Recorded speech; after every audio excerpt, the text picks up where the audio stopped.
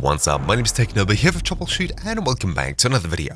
In this quick video, I'll be showing you how to solve a simple but annoying error that you could be getting whenever you try and open up WSL, Ubuntu on Windows Subsystem for Linux, or anything like that. If you're receiving an error that says, effectively, the system cannot find the file specified whenever you run WSL, Ubuntu, or any other Linux distribution on Windows, the solution to this is incredibly simple, especially if you have used Linux on Windows in the past, or you're absolutely sure everything is still installed as it should be. For me personally, I think I may have deleted the Ubuntu files, re-downloaded it, and then started receiving this error. So, the absolute simplest solution is to hit start, type in PowerShell, then right-click PowerShell and choose Run as Administrator.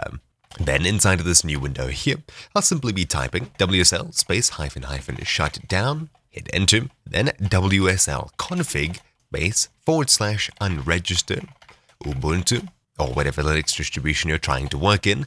Then after this, WSL hyphen hyphen install hyphen hyphen distribution and Ubuntu, or whatever the name is here as well. Enter, assuming you've spelled it right. Third time's a charm. You'll see Ubuntu is now installing and a new window opens up, this time in Ubuntu, working exactly as we'd hope, and in a few seconds it'll ask me to create a Unix username.